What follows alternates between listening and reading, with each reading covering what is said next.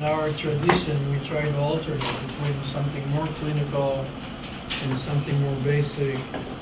And this is basic science seminar with and from a fantastic lady, Ting Ting, those who are from my lab. Her mentor is my former PhD student, Robin Schultz, so she has to be good. All right, so if anybody is interested, it's, it's right here. But she does really beautiful work on trafficking of uh, connexin 43 in particular and uh, ion channel proteins in general to the membrane and the mechanism of how they arrive at the membrane. It's really a fascinating story. Okay, so uh, first of all, we're really uh, happy today to have two of our own. really, And I call them two of our own. I got permission. And um, I'm not going to dive into the um, history of these two gentlemen except telling you that uh, Phil received his MD, Dr. Cuculich received his MD from Vanderbilt University and then passed through Chicago on his way to um, to uh, Washington University. And Cliff uh, Robinson, who's here, from uh, a cardiologist who's uh, doing uh, uh, electrophysiology work and treating cardiac arrhythmias. And uh, Cleve is a radiation oncologist, and uh, we come from the same uh, part of the of the country. Uh, I I received my PhD from uh, Case Western Reserve University, and Cleve received his MD from Case Western Reserve University a few years after that. And then I think you stayed at the Cleveland Clinic. That's right. Before coming.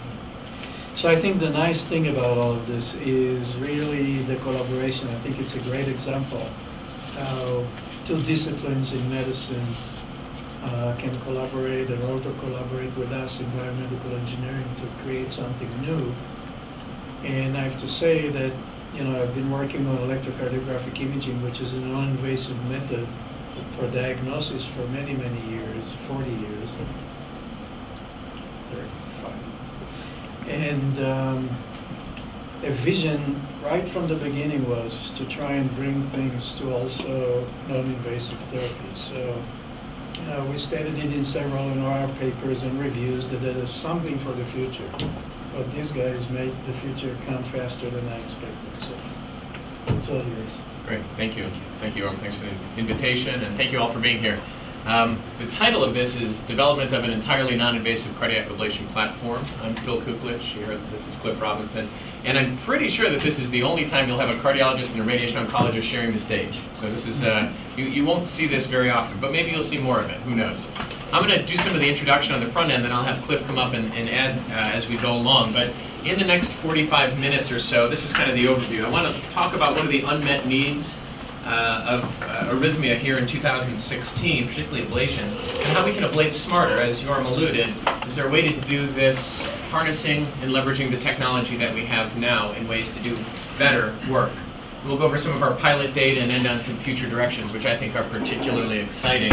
And you know, if we start with quotes, here in electrophysiology in 2016, we are largely destroyers, right? We break things down. But whether you believe Winston Churchill or whether you believe Nelson Mandela, we really should build, not destroy. And so, allow me two, three slides to just say we should be building some of these things instead of continuing to ablate and destroy. And so, what is treatment? What is, you know, ablation versus real treatment? Well, in cardiac electrophysiology, we're different than any other specialty or subspecialty within cardiology. Uh, there are those who open up arteries when people have heart attacks, and so they go into the arteries and they open up these stents within uh, the, the blood vessels and they restore blood flow. So treatment to a myocyte looks like this restoring some blood flow, handing something that is good back to the myocyte. How about heart failure doctors? Heart failure doctors offer treatment. They strengthen the myocytes. They take diseased, ill myocytes. And so, to a myocyte, this is what a heart failure doctor looks like. Says, let's get stronger, let's do better. What about to cardiac imagers, to people who do CAT scans or ultrasounds? Well, this is kind of what the cardiac myocyte looks like, walking the a red carpet with paparazzi take pictures of me. I'm a beautiful cardiac myocyte. But what about in cardiac electrophysiology? What are we doing in 2016? We're mean. We're not good to cardiac myocytes. We systematically hunt and destroy them. We mercilessly and intentionally burn or freeze these with the hopes, and, and we even send robots into the heart and can control them uh, remotely there to try to destroy. And so I want to at least throw out there that we're going to spend most of our time talking about destruction and elevating the level of destruction, but it's always worth thinking about how we can rebuild. And there are many ways within cardiac electrophysiology that we should be thinking about this. And I might even postulate that maybe some of the things that we do today where we think we are ablating non-invasively might actually have some of these effects electrophysiologically, whether that enhances the conduction velocity, whether that prolongs the refractoriness, or does some type of a functional ablation at the level of the cell-cell communication. The goal here is to, if I can show, the goal here, this is kind of a schematic that you'll see again. This is healthy myocardium in red, this is scar, and the scar is homogeneous, is not homogeneous, it's heterogeneous, and there are multiple different electrical circuits within this, which offer possibilities for us to alter the ability to induce arrhythmias. And so today, in 2016, we still don't build, we are ablationists we destroy things. And in many ways, cardiac EPs are kind of like radiation oncologists. I see this and I say, how can I ablate the VT? How can I destroy the electrical signals? And Cliff sees this and says, how can I ablate that cancer? So in many ways, even though you've never seen a cardiac a cardiologist and a radiation oncologist on the same stage, we kind of have similar goals with what we do with our treatments. And so we're going to spend time talking predominantly about VT, ventricular tachycardia. And I compare that to things like atrial fibrillation or other supraventricular tachycardias because in 2016, that's where the greatest needs are. So if we look at the dangers of these different arrhythmias, AFib is not life-threatening. It does increase the risk of a stroke a bit. SVT is not life-threatening, but VT, ventricular tachycardia, is. And fortunately, it's not the most common of the heart rhythm problems, but the risks that are associated with therapy, things like the medicines that we would use, or the defibrillators that you'll hear about, or the catheter ablations we'll talk about, all carry risk. And they carry more risk generally than the other types of diseases. And how good are these? How efficacious are they? Pretty poor. So we aren't very good at preventing and treating ventricular tachycardia. So there's great unmet needs in this region, particularly when it comes to shorter procedures, bigger ablations, better mapping tools we have a great opportunity here to do some good. When we think about the different kinds of VT, the most common type of VT is from a prior heart attack. And so there's a scar that is laid down within this area, and there's usually reentry, whether that be an ischemic cardiomyopathy or others, surgical scars, infiltrative diseases like sarcoidosis and others. There can also be idiopathic or focal type of disease, and that's usually not associated with cardiomyopathies, though it can be. And as I mentioned, VT is life threatening, and it's life threatening in a big way. No offense to my radiation oncologist friend, but sudden cardiac death kills roughly 300,000 Americans, and that's more than lung cancer and breast cancer and AIDS combined. And so this is a major issue when we talk about public health. And so those are the types of VT that we deal with, and treatments for these VTs oftentimes has to do with medicines or in particular catheter ablation for the VTs on a structurally normal heart and medicines or an implantable cardiac defibrillator for those with structural heart disease, prior SCAR, though increasingly catheter ablation is being used as well. And in particular, defibrillators have really made it so that people live longer with bad hearts.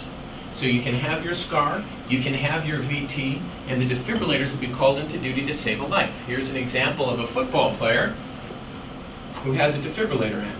And you'll notice he's the guy who falls down here he has a defibrillator in. It recognizes his VT. It's charging. Watch his legs. Watch his legs. It just delivered a shock. And he's good. He's ready. He's ready to keep going. So you just watched a man die and be resuscitated from a defibrillator all within the course of about 12 seconds, which I think is pretty spectacular. So the ICD should not be the rescue uh, it should not be the thing that we uh, lean upon because defibrillators hurt. They're not comfortable. We shouldn't let people die and then be rescued over and over. The ICD is really the parachute. Uh, but as Dan Cooper likes to say, let's fix the plane. So let's talk a little bit more about fixing the arrhythmia substrate. And in 2016, that's catheter ablation. So just a brief walk through history. It hasn't been that long since we've been ablating cardiomyopathies. In 1972 was the first EP evaluation of VT with catheters and mapping of the heart. And it was later through the 70s where surgical techniques were, were perfected and used in an effort to carve out the arrhythmic substrate during open heart surgery. And through the course of the 80s, the publication of these uh, was, was done. And they had a fairly effective uh, non-inducible rate. So 72 to 97% acutely effective, but recurrence rates long-term about, you know, a quarter to a third. And unfortunately, you know, 10%, 15%, upwards of 17% of these patients died. So the operative mortality was not trivial. And in the early 90s, we figured out ways to use catheters to deliver energy into the heart. And the first type of energy was direct current. And that was essentially a, an explosion, initially at the AV node and then for VT. And it had high rates of barotrauma and arcing. This was a very difficult energy to control. And so there would be rupture of cardiac tissues and ultimately cause larger myocardial dysfunctions and even death. And you saw a three month mortality that again approached 10%.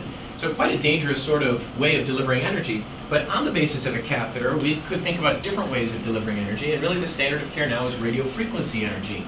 So in the mid 90s, moving into the late, uh, late, I'm sorry, mid 80s, moving into the late 80s, radiofrequency energy was used. And this causes a, a local heating, very much like an incandescent light bulb.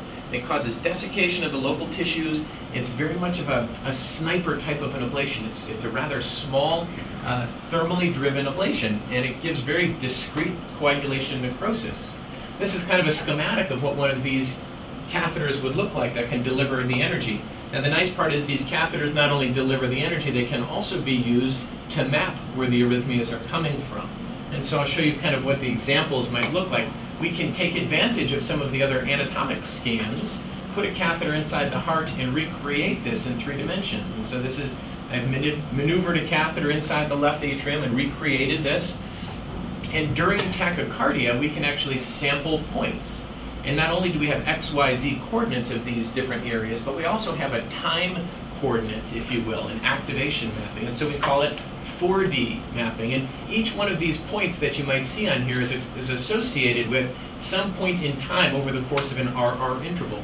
And we can map within each tachycardia such that purple is late, red is early. And as you take sample many points over the course of an arrhythmia, you can pinpoint down where that arrhythmia is coming from and then heat up your catheter at that tip. Here's the close-up of what one of these radiofrequency ablations looks like. There's the catheter tip into a piece of tissue, and they're heating this up. And at a roughly 60 degree isotherm, you can see the desiccation of tissues. This is what radiofrequency ablation does. And it's highly addictive to fix arrhythmias. It's a lot of fun. Shown here is atrial flutter, and if you put the catheter just in the right spot and you turn on the radiofrequency ablation, that atrial flutter stops, and we're back in sinus rhythm. So it provides an immediate fix to arrhythmias. And so there's a lot that we have done with radiofrequency ablation over the course of the last two, now three decades, uh, which has really made this the standard of care. But how successful are we really depends on a number of factors, especially the type of arrhythmia. Where are you ablating? If we're ablating in the atrium for a supraventricular tachycardia, we have a terrific acute success rate, very few recurrences down the road, and it's fairly safe and it's fairly short. It's what catheter ablation was made for as we've extended to other types of arrhythmias, we see that recurrences for atrial fibrillation can be wide ranging and these procedures can be pretty long. And in particular, when we look at structural VT, acute success rates are low, 12 months recurrences are high, adverse events because they are such long procedures. We have the opportunity to improve this group of patients. And so I, would ask, why does VT recur after ablation? This is more for the ablationists in the room, and you could probably rattle these off, and you've probably heard these. Now, it wasn't inducible during the study. We put these catheters into the heart. We try to get the VT to start, but it doesn't always start.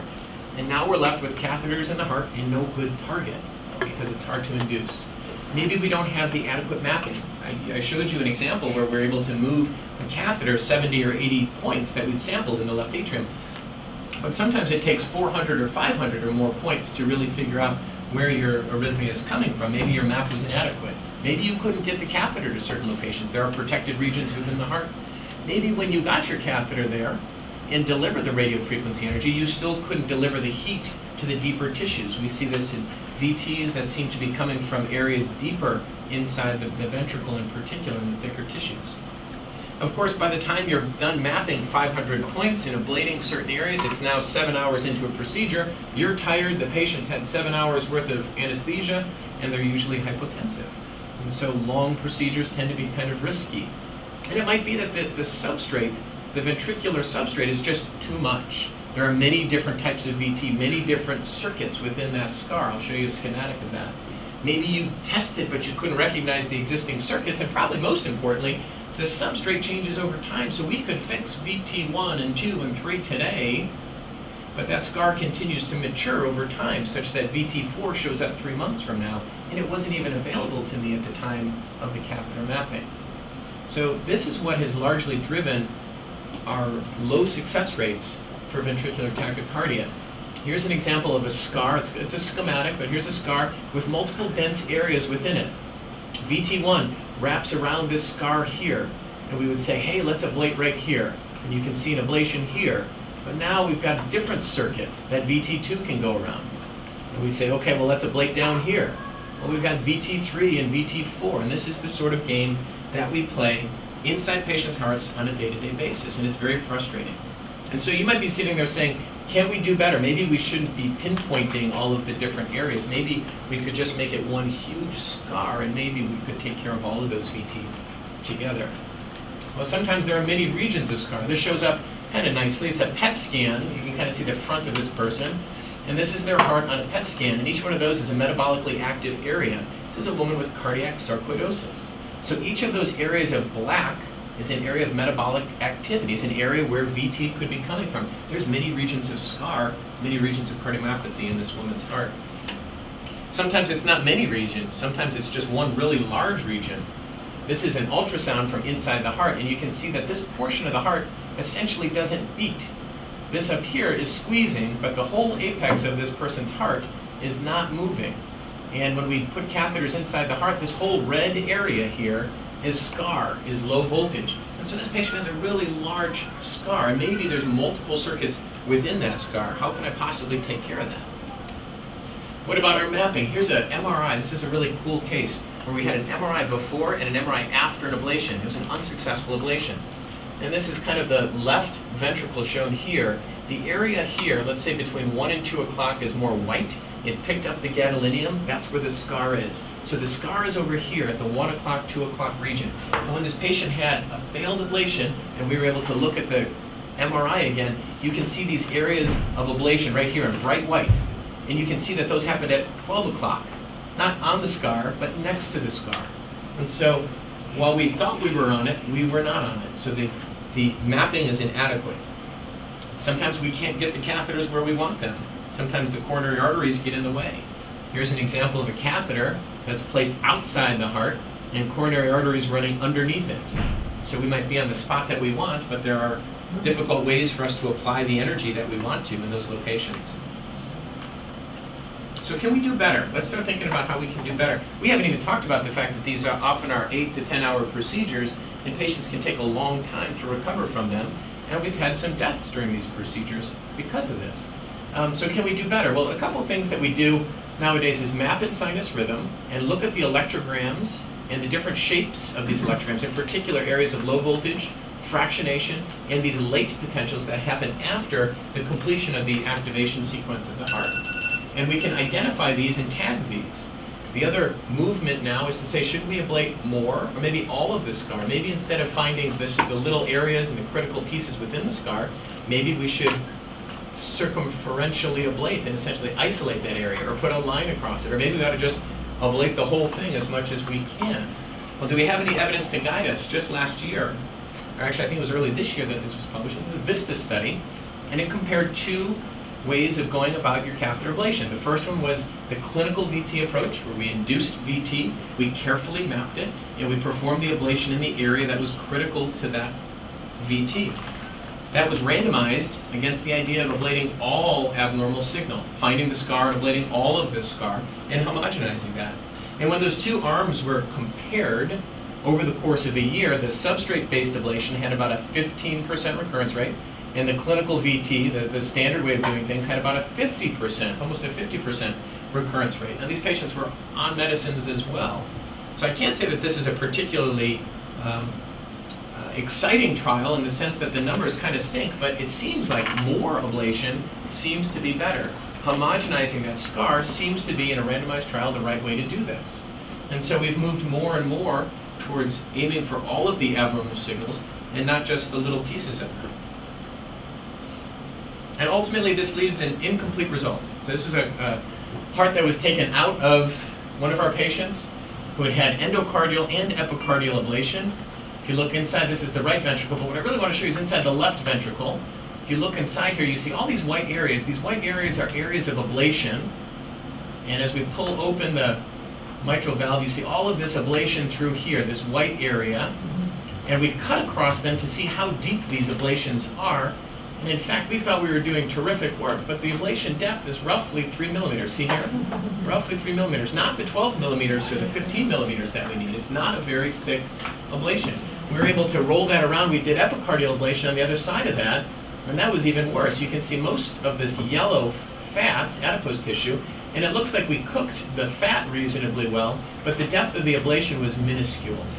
And so we have incomplete thickness, we have gaps between our ablations, and this is on our very best sort of work. And in, in a, a prospective trial of our best catheter ablationists, there's about a 50% success at six months, with a 10% major complication and a 3% chance of death. This needs to be better. We should not be comfortable that this is a, a standard of care right now. So what helps us ablate smarter? Obviously, the things that I would want, I would want to be able to see a 12 lead EKG and know where the VT is coming from. I would want to look at the local electrograms. I would love to be able to see the electrograms during VT. I would love to be able to see the abnormal electrograms during sinus rhythm. If I had all of these things, I think I would do better. If I knew where the scar was, here's that MRI beautifully enhancing a scar on the inferior wall. If I knew where that scar was beforehand, I think I could do better. And of course, we're developing better catheters, things that can sense force, things that can apply deeper lesions, things that can uh, know the exact location of, uh, inside the heart. But if I think forward, and I think outside of just being limited to catheter ablation alone, I really want to make full use of all of the imaging modalities. I want to be able to combine all of the different beautiful images to identify where that scar location, the distribution of the scar, the architecture within the scar.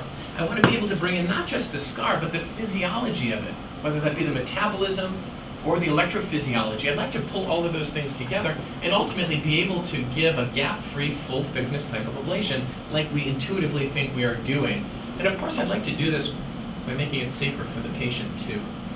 And so we're going to finish up by kind of introducing the two concepts of uh, non-invasive EP mapping, which we know quite well, and then non-invasive full-thickness gap-free ablation, which is the stereotactic beam radiation. So ECGI is something that we've talked a lot about. I'm only giving you a slide or two about it. We all know the methodology quite well, I hope, at this point. Um, and ultimately, the type of result that you get in a single beat is this type of an isochrone map where the earliest activation is in a red. So in one beat, I can get an idea of where the earliest activation of this uh, atrial uh, tachycardia is coming from. And if we do this, we've done this in ventricles in a number of different disease states, and that was published several years ago. So we've had a number of different disease states from a number of different areas within the heart. So I feel confident that we can localize where VT is coming from using this non-invasive tool. But if we can take it deeper, not just looking where VT is coming from, but how can we marry it to the other information that we have, and in particular, some of the fibrosis imaging that's becoming more and more popular. And can we correspond electrophysiology to this? And so here's the arterial side in red, the venous side is in blue, the phrenic nerve is in green, the endo and the epicardium are beautifully matched, and here's where the scar is. What's the electrophysiology going on in that scar? And we've been able to do this at times. So shown here is somebody who had sarcoidosis, and this is an anatomic and a metabolic map, and that's combined with non-invasive ECGI uh, of that VT. So we see the VT is coming from the lateral uh, base of the left ventricle, and that's exactly where the inflammation is coming from here. So there's power in merging the electrical, the metabolic, and the anatomic type imaging.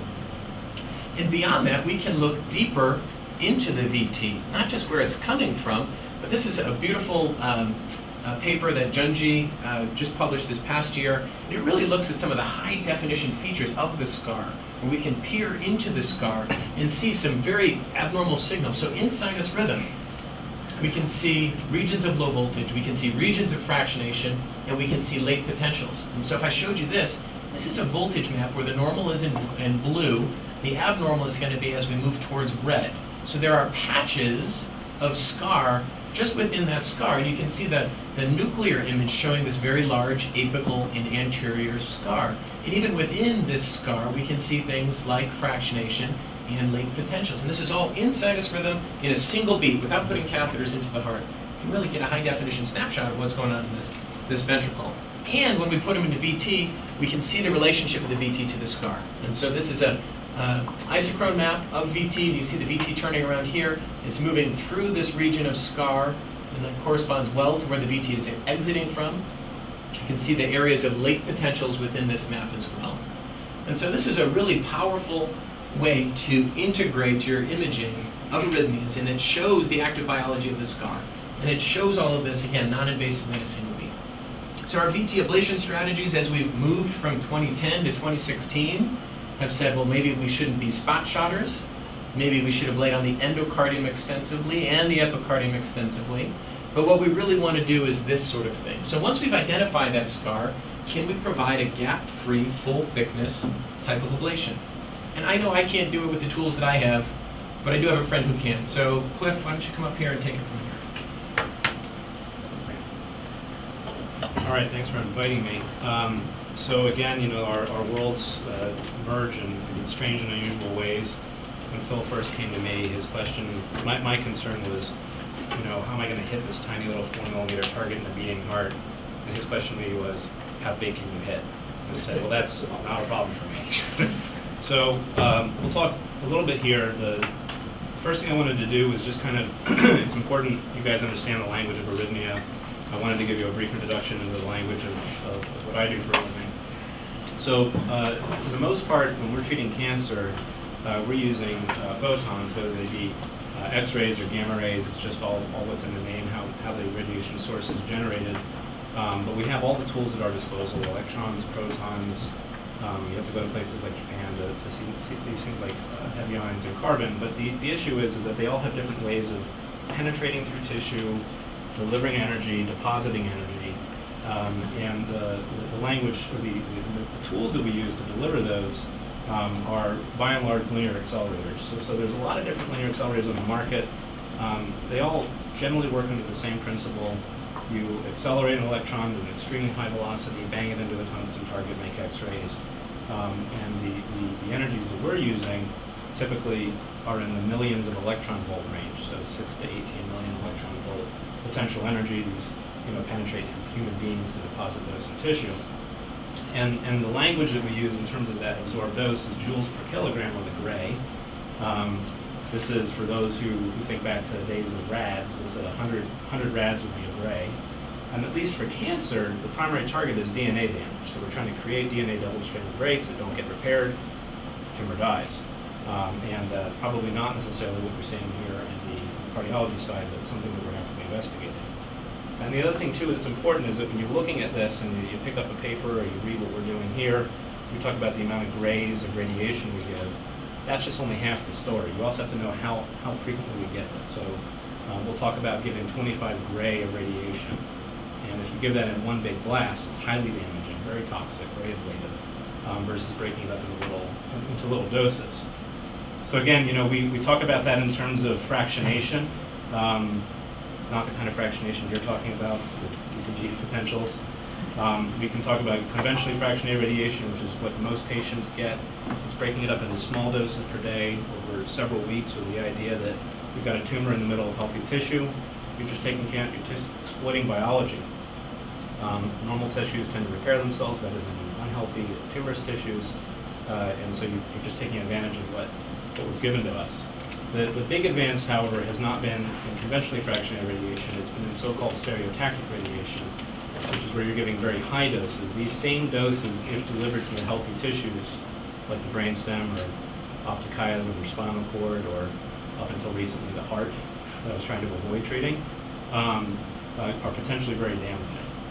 And so the way we get away with that is that it's been a perfect merging of, of just, you know, all the necessary components over the years.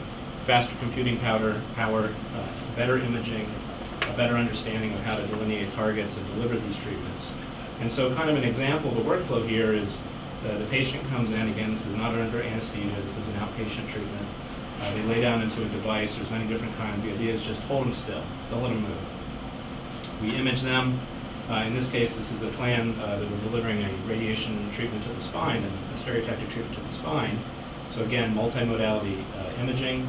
We then delineate the structures, uh, create a plan virtually in the treatment planning system to tell the machine how to rotate around the patient. In this case, delivering all these tiny little beamlets of energy using arcs of radiation, all prescribed down to that target. And then looking at measures of the quality of that plan by how rapidly the dose falls off uh, compared to where we want it to go. So to give you an idea, the green line is the prescription dose. Uh, the spinal cord, that same green line if delivered to the spinal cord would cause myelopathy or paralysis. So we're used to being able to hit pretty small targets in, in, in situations like this. Um, and you know, moreover, what's kind of really exciting for me as a radiation oncologist is that despite the fact that these are very ablative and if delivered incorrectly could be harmful, um, we actually don't see a whole lot of uh, significant toxicity. And so this is an example of a patient with a stage 1 lung cancer where we gave SBRT, 54 gray and 3 fractions of this lesion. You can see over time it shrinks. This is not an immediate kill, something that you see with, art, with, with radio frequency ablation. This takes time, uh, but ultimately this has become a, a, significant viable option for the for patients that have medically inoperable stage 1 lung cancer, and we're now using it in all, in all parts of the body. So in terms of the preclinical data to date for doing this on purpose to the heart for purposes of treating arrhythmia, the data is limited, but it's out there. Um, essentially, it all it's, it's almost all uh, proof of principle mini swine models with the notion of can you target a part of the heart, can you hit it with radiation, is there evidence that you hit it, whether it be sacrificing the animal, looking at histology, or looking at electrophysiologic changes. And you know, essentially summarizing a half dozen more abstracts or papers, it comes down to um, you need pretty high doses. So again, you know, 25 gray delivered in a single fraction. This is on the low end of what the recommended doses are that can produce electrophysiologic effect. Two things to note. First, the same dose is a pretty big one for a tumor. Second, three months. So again, not not not immediate in the, in the preclinical models. Um, and at least to try and recapitulate what we're seeing with radiofrequency ablation um, in, the, in the standard sense of creating fibrosis, again, this is a delayed effect. So again, showing this graphically, this is an example of a, a mini swine model where they were uh, imaged and then uh, treated with a radiosurgery system. This is again the intended uh, dose target right here, and then after sacrifice, you can see this area of scar. Again, it takes you know, three to six months after treatment, and then this is a dose response curve looking at this sharp threshold. Um, where you know uh, at low doses you don't see a lot of radiobiologic effect. Then at these higher doses you start to see you know minimal through complete fibrosis. Um, and again, you know, it may be that this is important for us to go to these higher doses, or it may be that some of the physiologic effect we see even happens at the lower doses. In terms of people that have been treated with this, the first in man treatment um, was done actually uh, close to 2010-11, but it took them a long time to report. So it was finally actually reported in 2015. Um, and this is a, a, patient that received 25 gray in a single fraction. They were, uh, again, the kind of classic example of somebody who's unhealthy, not the best candidate for catheter ablation, not likely to tolerate a long um, catheterization. Um, and they, they delivered this treatment using um, a combination of kind of their best guess using non-invasive imaging, um, prior SPECT scan that they had, uh, and they delivered with something called the CyberKnife. The CyberKnife is um, a uh, just another type of linear accelerator. In this case, however, the CyberKnife requires the use of fiducial markers. So not technically a totally non-invasive treatment because they actually had to flow the catheter in as a marker uh, to deliver the treatment. But nonetheless, proof of principle nonetheless. Um, in this case, you can see that there was an effect, uh, mostly with the non-treated VT, um, but potentially also with treated VT. This patient, like many of the unhealthy patients, went on to die of COPD uh, related illness uh, several months later. Um, so this kind of all circles back to, to, you know, what are, what are we trying to do uh, with our work? Um, merging the non-invasive imaging and the non-invasive treatment, doing it in a way that is logical, uh, that creates something where um, it recapitulates what we're kind of already doing on the cancer side, so we're not reinventing the wheel in certain ways. Um, the notion is I ultimately need a target, and so the multimodal imaging and electrophysiolog- electrophysiologic imaging, bringing this all together so that we can essentially create for me a target. Um, we, when we first started making our protocol, uh, we use a language uh, called the GTV or gross tumor volume. And I realized that that's not going to fly, so we're just going to replace T for target instead of tumor. Um, we don't want to freak the patients out. So um, ultimately, we create a target. Um, we then develop a plan. Again, in this case, normally I'm doing everything in my power to, uh, you know, if treating a cancer patient, trying to treat the tumor next to the heart, avoid dose to the heart. In this case, I'm just shifting all that dose into the heart on purpose um, and then position the patient, immobilize them. And then the cool part is actually in the delivery. You know, uh, it, the system that we have at WashU and a lot of other places um, have onboard CT imagers, so we can image the patient right before we treat them uh, without the use of fiducials. So breaking that down into individual components, um, this was a first patient that we treated, and it was uh, presented in a poster form at Heart Rhythm. Um, this is an example of that multimodal imaging. So again, the anatomic scar map. And using the information from ECGI, this patient had two different clinically distinct um, arrhythmias that we merged into one target. Uh, and then able to non-invasively localize, bring that into the treatment planning system. So again, first immobilizing the patient. This is a pretty interesting system. Uh, this is actually a vacuum fixation system, so that you know, as far as the patient's concerned, they've been saran wrapped and vacuumed in place. Um, we're, for, the, for the protocol, we're using a different system where we're putting compression in their abdomen, it's the same thing. You really don't want them moving around during this treatment. Um, and then we get a special uh, type of CT uh, scan called a 4D uh, CT that allows us to take the uh, information from a bellows or external device that's watching them breathe and then oversample the CT data and then bin it back into the phases of breathing. And that allows us, this is something we use all the time for lung cancer planning, so that we're not missing a target that's moving. So we take that information, and here again, this is the free reading scan in the coronal view. Uh, this would be kind of an initial target that we draw, and you can see that uh, we can then bin the data into an inhale phase, exhale, and you can see how it's a moving target we don't want to miss. We take all that data, bring it into one maximum intensity projection, so we have the entire motion envelope. So again, we're not in the, in the current version of, what, of the way we're treating patients, um, we're actually just treating the entire uh, area where the region could be. So it's not gating or targeting or turning the machine on and off yet. We're getting there. Um, but that's what we're doing currently. So again, this is us sitting down, drawing out the target on the CT simulation. Um, and then the, the, the, part that we're really excited about is we have proof of principle. We can take the ECGI data, threshold it um, uh, into a meaningful way that where allows us to map where the origin of VT is and then convert it back into a DICOM, which is the standard imaging format we're using uh, for you know, radiology images, and then bring it back into the treatment planning system, merge it with my images. And then this would be, for me, as a, as a you know, simple radiation oncologist, this would be the equivalent of me maybe bringing in a PET scan to target tumor. Um, and so this would be, this is a kind of an important step in that process. Take all that information, merge it together, uh, create a plan um, and again, the, this is all done. This isn't me sitting in front of a computer doing all of it. This is a team effort. So, so you know, Phil is uh, uh, responsible for the you know, merging mentally, and then also from an imaging standpoint, bringing all the information together. I'm responsible for all the targeting and the anatomy, uh, and then evaluating the plan. But there's actually dosimetrists and physicists um, uh, who, who, are responsible for all the other aspects of the, the quality assurance and delivery. Um, and so in this case, you know, we're treating them with these ARC treatments, which are a very efficient way to get that dose in quickly.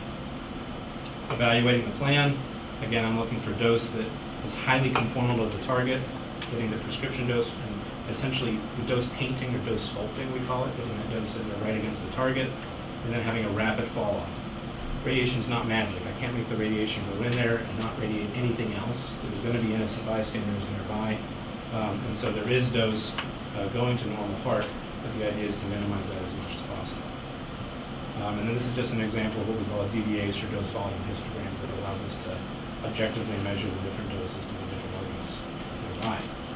And then for the, the actual treatment, we bring them on, we put them back into that saran wrap, lay them on the table, get a CT on the on the fly. There's a machine, the, actual linacs already has the CT. We merge those two things, and then that tells the machine how to get it back into the proper position compared to the where they were on the day of simulation. We can take some additional fluoroscopic imaging. I went a little crazy with our first patient and added all these extra contours. We don't do this anymore. It's not that uh, egregious.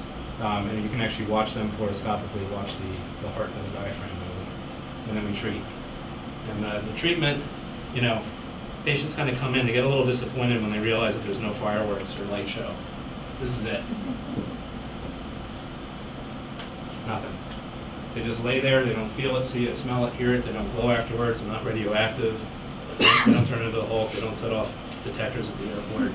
They get up and they walk out. So with that, I'll pass this back to Phil to talk about some of the clinical results, and then we'll finish up with some future directions. Great, thanks. That's perfect. So we've done this on uh, eight patients now. The first five were in a pilot group uh, where it was taking it beyond proof of principle into actual treatment. And these were the worst of the worst. These are patients who had already failed multiple ablations or had contraindications to ablations, had failed multiple antiarrhythmic drugs, and were still having a lot of VT. And I won't go over the, the details of it, but these are the five patients. This is their gender, this is their types of cardiomyopathies. And I think most importantly, you can see the ablation volumes. We contour these volumes, and a, a golf ball is roughly, I think, 30 cc's. So you get an idea that we're contouring a, a golf ball worth of ablation here. And treatment times are 11 minutes to 18 minutes. Again, wide awake, they get on the scanner, they step off the scanner, as opposed to the eight-hour treatments before. And we have fairly durable and long follow-up on these patients because obviously we're very curious about their well-beings.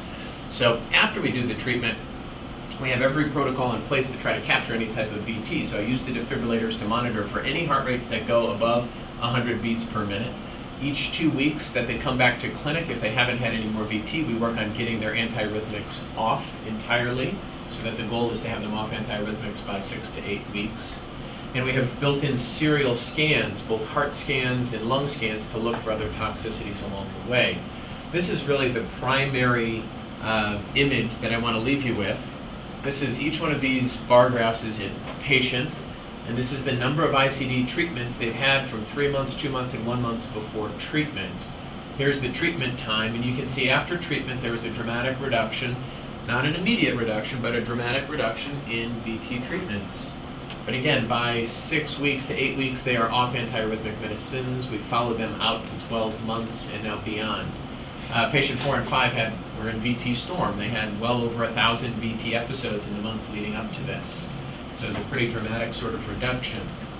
Um, getting somebody off antiarrhythmics is largely a difficult sort of thing and is usually not part of VT ablation trials that are out there. So this is really taken to uh, another level. Most standard VT ablation trials kind of cut off at six months as well. To be able to see this durable response to 12 months is particularly exciting.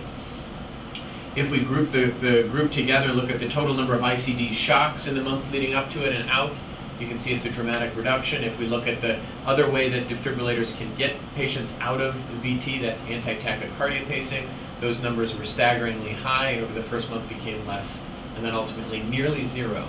And no matter how you really cut it, this is really a per patient look. This is from the defibrillator.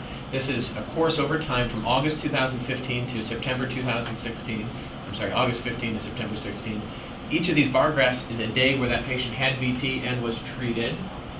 And as you can see, the treatment was here. This patient did have a couple treatments in the week after. Those were just pace uh, terminated episodes and you can see off antiarrhythmic medicines. And probably most telling is the quality of life that goes along with being VT free and being off medicine. And you can see this is patient activity per day. And gradually, over the course of time, this patient went from being essentially bedbound to doing quite a bit more. So it's really a telling sort of story, I think. And the results, no matter how you cut it, is that everybody, all five patients, had a significant reduction in VT. And whether we look at it in aggregate so 6,500 episodes in the 15 patient months before to three VT episodes after the six-week blanking period. So that's a pretty substantial reduction. We can look at it per patient, and the numbers are equally impressive. And three patients were entirely VT-free off of medicines at that one year anniversary. So it's pretty substantial. And, and at what cost are we delivering this? Are we just trading short-term risks for longer-term toxicities? It's entirely possible. Both Cliff and I worry that we're causing cardiac damage that's going to be beyond just the arrhythmia story, but could we be causing more of a, a toxicity for the cardiac myocytes and overall cardiac performance? And it doesn't appear to be that way. So we've had serial echoes at one month, three months, 12 months for the patients, and you can see it's largely been the same. Overall, I think it was a 6% improvement for all. But in particular, the two patients who had the most VT, when the VT went away, the ejection fractions improved rather dramatically.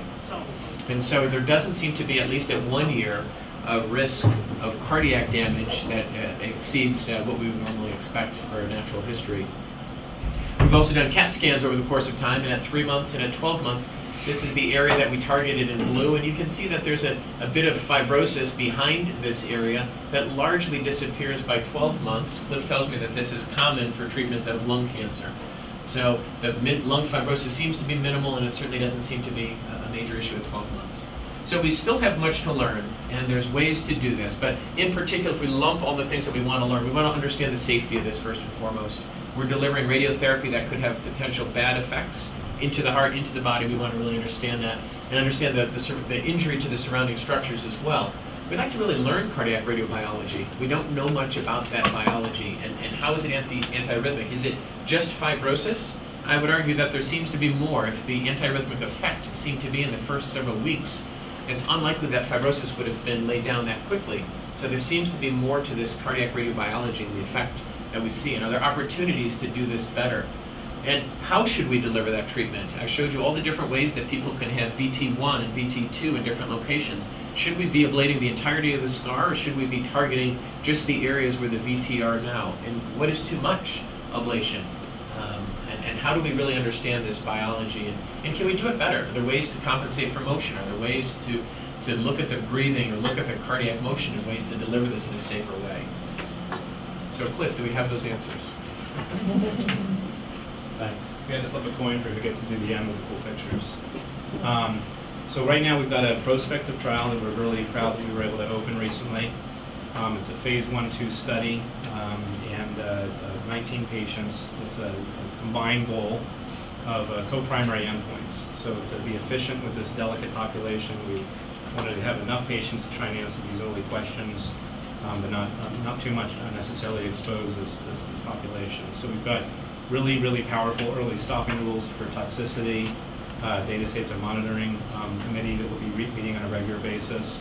Um, and we set a relatively low bar for efficacy. You know, like in a, in, one of the things I have to keep reminding Phil when I'm talking with him is that, you know, if we if we see somebody where their VT recurs and we don't have a you know 100% effect, that we have to think about that in my world, where on the oncology side, you get a 5% improvement in survival at the cost of $30,000 a month for a drug, we call that a so we're, you know, we're, we're, we're bankrupting the Medi- Medicare. That's, that's our fault. So you guys have less to work with. Um, so, so in that, in that vein, you know, we're setting a, an efficacy where, you know, in a high-risk uh, refractory population, where we want at least a 40% response rate.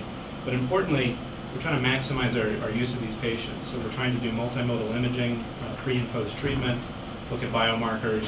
Um, and I'm, I'm uh, pleased to say that we've actually enrolled five patients to date, treated three, and uh, two are actively working on mere hours before this talk today. So there are many opportunities and obviously future directions. There's a lot we need to learn, as Phil just mentioned.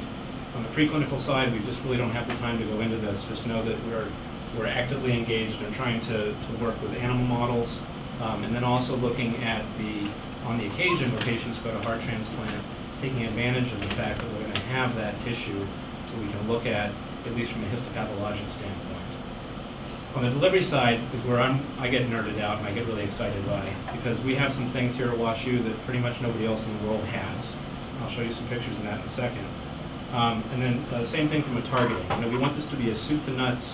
If this is going to take off, if it's going to be something that we really end up doing more of, it can't just be, you know, two kind of crazy people who are willing to sit together for hours at a time and work, we need to make this so that the masses can accept it as well. So the first thing I'll show you is we have something called the ViewRay, or MRIdian is the name of the system. Um, and it's the first of its kind MR-guided radiotherapy treatment unit. Um, it is a 0.35 Tesla MRI. Um, it's uh, uh, cobbled together from the uh, the original intraoperative MRIs, where there would be a, it's called a double donut MRI, and there's all this equipment between the two sides of the MRI. This, I think only the thin surgeons could operate in those areas. and uh, so, uh, in the first iteration of it, it's uh, cobalt based. And cobalt's actually an old technology that we used back in the day. In this case, it has a lot of appeal um, uh, because of the right hand rule. So when you're trying to make linear accelerators and electrons flow through magnets, there's very big problems that go with that. Um, so the first iteration is cobalt. Uh, we were the first uh, site in the world to have this, first people to treat with it, and it was developed by somebody who was trained at WashU and went on to make the spin-off company when they told them that it was impossible. So what we're really interested in is obviously MR is a great way to image the heart. Obviously, we have one very specific problem to deal with, and it's this guy. Um, and so we're working with uh, Pam Woodard and others to, to, understand protocols where we can, particularly as patients get more MR conditional pacers in place, where we can make this safe, um, but then also image properly. Um, and so, you know, we've, we've been able to image patients, normal volunteers, uh, and, image, and even image one of the few patients that we had that did not have a pacemaker who we treated for PVCs. Um, and this is kind of an example of what you can get with a low field MRI in real time. The important thing is not the fact that we can do an MRI. People doing MRIs for a long time, you guys have some really beautiful images of that. The important thing is that we can use this in real time to treat and track a patient. So um, I mentioned that right now, I have to treat the entire motion boat. I have to think where that area of the heart might be at any given time. And since I can't see it, since it's the moment that I start treating, I shut off all my imaging, I have to treat everything.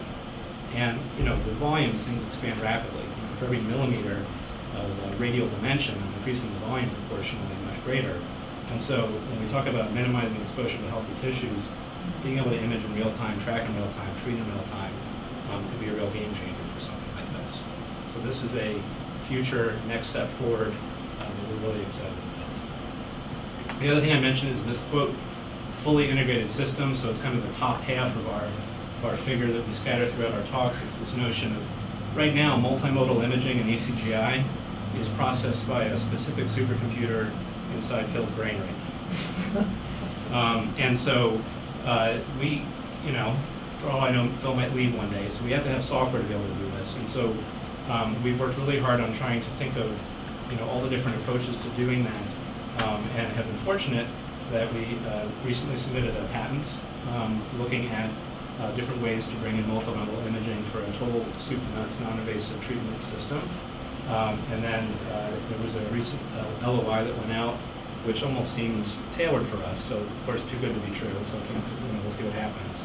Which was a collaborative science award through the American Heart Association, specifically looking at different um, uh, uh, uh, categories of physicians working together to try and solve heart issues. so we're very excited and very proud for that collaborative work moving forward. So with that, we'll wrap it up. I think we stayed somewhat on time. I want to acknowledge all the different people that we've worked with over, the over time. Um, uh, as you can see, the great part about this is that it's not all one department. It's throughout radiation oncology, uh, cardiology, Dr. Uh, Rudy's lab, radiology, etc. Um, I'll, I'll, tell you how to spell Sasha's name later. Dr. Mutic, who's sitting back there, um, who's the head, of the director of physics in my department, and was kind enough to, to bridge the divide and come over here. And so with that, I guess we'll take questions.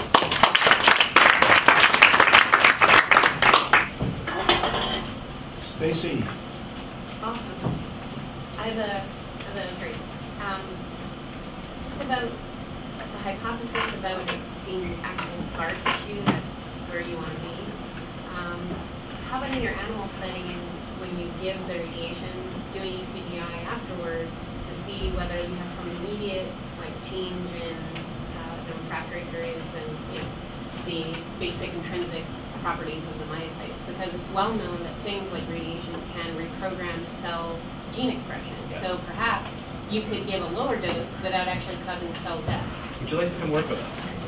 yeah, no, we've had countless conversations about this very thing, and there's no doubt that it's not just fibrosis. I mean, if it was just fibrosis, that takes three to six months to happen because patients are, you know, seeing an effect earlier on. So what that is is if you determine, it's really funny you mentioned that one thing about gene you know, uh, changing gene expression, because back when gene chips were hot and sexy and everyone was doing that, you know, we even found some old data that showed that ionizing radiation has pretty significant, relatively early changes on expression of, you know, sodium and potassium channels. So, Yeah, I mean, that's the. I, I, I can, I know about that Yeah. literature. I mean, Yeah. to me, that's what I think, if I just listen to your story, Yeah, that it absolutely. would be a logical. And, I- and I'll tell you too, Stacy, um, in the in the opportunities that we've had to see the hearts. So one guy did go for a heart transplant 18 months later, and so with the opportunity to see his heart, it was much less um, ablated than you would have expected. There was much less destruction than I would have expected for somebody to see that long of an antiarrhythmic course. Um, so I, I think that this may actually potentially be a primary um, cause of the antiarrhythmic effect here. Uh, that you may not need to just destroy everything. There may be a, a reprogramming. We should at least be open to that possibility in the studies that are going forward. That'd be exciting because you don't have to get as much radiation. Right. Right. In fact, we don't even know that delivering in a one big dose is the way to do it. That was done specifically because the early hypothesis was let's try and let's try and recapitulate what RFA is doing, and the best way to do that is one big monster dose. But if it turns out that's not the biology, then actually some modest fractionation may be the way to go. And as soon as you start fractioning, as soon as I start lowering down the dose per day, I start increasing the safety set threshold greatly to the surrounding cardiac tissue. So you know, that, that might be another approach we have to take. It's just really not very well studied. So, so thank you for this presentation, but the question that I have, and I- I'm glad you addressed the motion issue because I raised it in the context of the manuscript, and I think it's an important question. The other thing is, the scar is not only inhomogeneous with regards to myocytes, but it has all kinds of structures that are important to cardiac function away from the scar. There are neural inputs, there is conduction system, there are blood vessels. All of those go through the scar. And some of them survive and function even when the scar is there. Now you're going to destroy the whole thing in a homogeneous fashion, and you'll be destroying those structures also that affect behaviors of cardiac muscle somewhere else. Maybe synchrony, maybe blood flow, maybe neural, all of those. And, and that be difficult to track and, and, and evaluate. So I wonder if you thought about that. Yeah, no, I think that's, that's a, it's usually it's a terrific point. Um, I think as we've gone into this, uh, always the first line of, of our discussion has always been on the safety aspect of this, because this is just not, this is just not the conventional way of delivering radiotherapy. Uh, this is widely thought to be a dangerous way of delivering radiotherapy. And we just don't know that scar biology as well as I think we should. Uh, even in even in catheter ablation, we put our catheters there and we ablate, but but we, we give um, radio frequency energy like we would for normal tissue. But scar tissue behaves differently. There are different structures to it. There are different pieces to it, different components to it. And so we've really racked our brains in terms of trying to figure out what is going to be that next ultimate preclinical study. There, the preclinical studies that have been done are largely dose ranging, dose effect sort of things, looking for ablation. But I, I think this is really Part important of the point is that the end point, arrhythmia and arrhythmia is not the entire It's, story. it's not everything, yeah. And that's why I think the, the close tracking afterwards of cardiac function, we actually have a, we're going back deeper into these echoes and looking to see if we can see regional differences in terms of where we treated versus not, looking at strain rate imaging and, and speckle tracking and things like that to try to get an idea of the regionality of the, of the changes that happen. Is it truly localized or is there a global component to it? So I think that would be important to include, I don't know if they were included in what you called biomarkers for the study that you're Yeah. preparing and so on, but, but I think some of those observations beyond the scar are probably I important. think they are. So you think you're getting the Purkinje system? You see any widening or QRS or anything after you do this? That's a good question. For most everybody, we have not. Um, I can't think of a single one where we've seen something pick up, with the exception of the HIS bundle uh, with the AV node. Sorry, the AV node. So um, the first patient, the ablation was very close to the AV node. Uh, he actually had a lengthening of his PR interval in the first two days, three days, uh, and then it came back to normal. So we weren't intentionally targeting his AV node. We were near it. you know, probably received 15 to 20 gray based on what I can see in the, the maps that we did if everything was accurate. And there seemed to be an effect in the first three days or so that was not durable.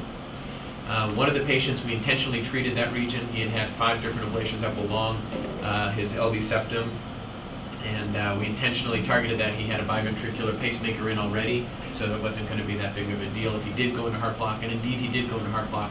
But his wasn't until four weeks out, as best as we can tell, that his heart block happened. Outside of the AV node, we've not seen any QRS getting wide. So has anybody done any, I know you pointed to one animal study where they've done animal studies to look at the evolution of these, these scars or anything? Not really, no. To, to say that is, is that's disingenuous of the study. It's it's a single sacrifice at various points of time with varying doses. So it wasn't very rigorously done. It wasn't as if they gave 30 gray and checked, you know, sacrificed animal at day 14, at day 28, and, and, and didn't sequentially do that. It was it was very scattershot in terms of that.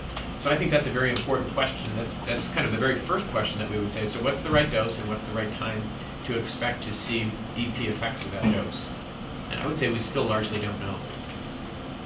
What type of Are you targeting in your initial trial? Because as you can imagine, right, if it's just reentrant versus that's the site of the trigger, you know, does this treat both? Or are you, so are you going just after those patients who you think this is where triggers are coming from? Mm. No, um, we've opened up to all right now because I don't know if this is going to be better for one or worse for another. I, I don't know. So it's really anybody who's failed medical treatment and, and catheter ablation or, or is contraindicated to catheter ablation. So, So, in, far it worked in both in the pilot study, right, we've seen it in, in focal and we've seen it in reentry mechanisms. Um, in particular, you know, we, we struggle with non-ischemic cardiomyopathies Yeah. predominantly because that scar tends to be pretty diffuse. Uh, I don't know if this would be a better way or a worse way to treat that, but in the non-ischemics that we have treated so far, you know, things have looked good, but obviously very early and needs to be further worked on. So how ma'am. about epicardial versus you know mid-myocardial or endocardial VT Yes. possible? I would say that um, based on the way that we conform the volumes, we treat the entire thickness of it. So it's being treated from endocardium to epicardium. So it's not, we're not at the point where we have the accuracy to just pinpoint target just the endocardium as it's moving. So we treat the entirety of the thickness, and that may have some value too. It may have some harm. I, we don't know. It's, it's worth it's worth Especially the studying. for. conduction system. I don't know. I'm, I'm Sorry? looking at it. Yes. Is there any, sorry, Sorry, go ahead, finish your thought. somebody else. So, Go ahead, go ahead. so I guess so. Um, I guess so. I guess once you go beyond, I guess the first things would be so a lot of unanswered questions. So first of all, uh, excellent talk. Um, the thing is sort of, I guess if you don't know the biology, I guess to me it's still sort of far fetched to think it is all be programming because I would have still thought, I guess at least that was the hypothesis was that you'll induce fibrosis. Again, sort of if they're not actively replicating tumor cells, and I guess I don't know how that what you thoughts you have in terms of what the biology could be, or how it could lead to fibrosis down the road. Um, but I guess so if it goes beyond this, and if you want to sort of the holy grail would be to treat all arrhythmias non-invasively, right? So in that, what it means is you have to sort of target to even more smaller sort of um, sort of um, fidelity and sort of smaller targets. So do you see, I guess, what changes would, or how would this evolve into that? Uh, is this the right radiation source, or do you think some other kind of radiation source would allow you to sort of target it more specifically with gating? and let's full disclosure. You're asking from Mayo, so he did graduate from Mayo. Yeah, So, sure, okay, fair enough. so a great question though. I Yeah. think that's very important. So let me, let me, um, let me work backwards on that. So in terms of the delivery, I felt like that our very first goal with this was don't miss, right? So if we didn't see a signal, and we didn't know whether it's because we were doing, we were getting too cute with the targeting, that would have been a really big deal. So what we're doing now in terms of treating these kind of large, robust areas is not necessarily what we have to do. so, you know, whether it's MR guidance or whether it's uh, respiratory correlated gating, where we can actually, um, you know, visualize on the patient how they're breathing and then correlate it with the 4D CT. There's a lot of different ways that we can track and, and gate and treat uh, targets. And we can treat really small areas. So when I treat someone with brain metastasis, I can treat something that's like two to three millimeters um, uh, and, and hit it. uh, so I'm not too worried about where we might end up going if, if I need to treat a smaller target. Um, uh, I, I do think that there are you know some some hurdles, but they're all surmountable. Uh, the main issue is that other groups have gone straight to the AFib story because they see the market potential in a much larger number of patients. And I think that we appropriately went away from that, go after the life-threatening condition, go after the people that don't have. This is the story that we've done for everything we've done in radiation oncology, by the way. Go after the, the, the patients that surgeons can't operate on, don't horn in on that territory. Um, with AFib, it, you know, we know for sure that radiation can cause things like fistulas, right? And you can get that when you RF near the esophagus, and I can certainly do that with radiation. So, you know, that's something we could eventually get to. And, and again, back to the biology issue. I mean, that's a huge, huge, huge topic. I mean, I, we, we're really excited about engaging the community and seeing if we can, you know, get those studies going because there is so much more that needs to be done here. It's like a little bit, it's almost a teaser of biology, treat the patients, and then backing back into the biology. And so again, sort of, so you sort of briefly mentioned sort of Yeah. other heavier particles and so forth. Yeah, well, So- protons, carbon, whatever. So- I mean, listen, we, we can we can do all of it. Uh, So there's there is very little additional value, I think. Um, so here's the thing about protons, which I know was very exciting, or carbon. You know, you go to Heidelberg or Japan, and you can take carbon. It's a charged particle, and it stops. So we have a proton unit here. We get a lot of referrals because protons are magic and they make everything better. Um, the issue is, is that protons are extremely, extremely, all charged particles are extremely sensitive to the intervening tissue that's in the way. So any amount of motion, unlike an X-ray, the motion kind of blurs out. You know, there's not a, there's not a huge difference between lung tissue interfaces with X-rays. With protons, that can make you off target by centimeters. So when you can take a heat beating heart and take it ex vivo and treat it in a you know an artificial environment like that, it actually works pretty well. Um, but hey, maybe maybe someday we'll be able to target protons better. The, the theoretical advantage to that is again because it stops and they don't keep going. In theory, that means I would have less damage to the surrounding part. But practically, I think we're a little far away. So again, with the biology, um, Yeah. if you just do some ECGI in addition to your PET and MRI Mhm. in those patients, you may be able to detect, you know, some subtle changes there that would then give you kind of a rationale for a grant to And that's, study we've, why. we've done repeat ECGIs on the five pilot patients as much as we can at the one year, and it's built into the phase one, phase two as well. So they've got repeat PETs uh, at the short and medium course, they've got repeat MRIs at the short and medium course, and they've got repeat ECGIs at I think the medium and longer term follow-ups. And so there are some ways that we're going to serially look through that. Yeah, I agree. It's important. It's an If important you part. see something, then that's ration, you know, a good rationale for, because there is a lot of literature about radiation and altering, you know, uh, that genome and kind of blasting things back to where they should be, because local cues will kind of uh, reset the, Yeah, and I, it would be nice to do that on a molecular level. ECGIs on the you know on the structural level. Uh, it would be nice to know what that what those changes are on the on the you know, more molecular and cellular levels.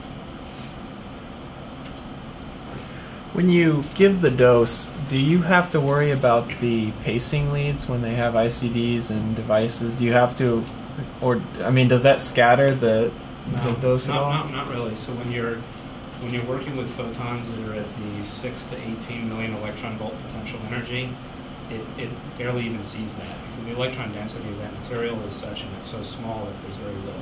We account for it in our treatment planning system, so the treatment planning system can model the effects of the electron density of those leads. Um, and if we needed to, we could account for it. It really doesn't affect it. The main issue actually for us is actually the pacer, the generator. So um, when you go to higher energies, you end up with actually neutron scatter. And neutrons are, are actually kind of they're pretty damaging actually to the, the pacer equipment. Um, so what we do is we we do a simulation as part of the planning.